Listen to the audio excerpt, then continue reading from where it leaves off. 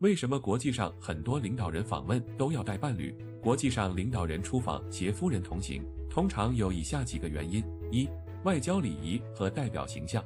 国家领导人的夫人作为他们的配偶，具有象征性的地位。携夫人同行可以展示国家领导人的家庭团结和稳定形象，以及对配偶的支持和关心。这有助于加强国家领导人的形象，增加国际社会对其的认可和尊重。二、社交和文化交流。夫人作为国家领导人的伴侣，通常会参与一些社交和文化活动。他们可以与外国领导人的配偶进行互动，加深彼此之间的了解和友谊。这种交流有助于加强两国关系，促进双方在各个领域的合作。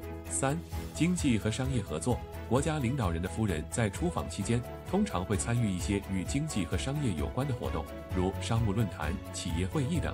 夫人的出席可以增加对活动的关注度，吸引更多的商界人士参与，并促进双方的商业合作和投资。四、软实力宣传。国家领导人的夫人通常在社会和公众中有一定的影响力和知名度，他们的参与可以吸引更多媒体的关注和报道。增加对出访活动的曝光度，这有助于传播国家的文化价值观和政策主张，提升国家的软实力和国际形象。需要注意的是，是否携夫人同行，在不同国家和不同情况下可能会有所不同。有些国家领导人可能没有夫人或夫人选择不随行，这取决于各国的外交传统、领导人的个人情况和政策考虑等因素。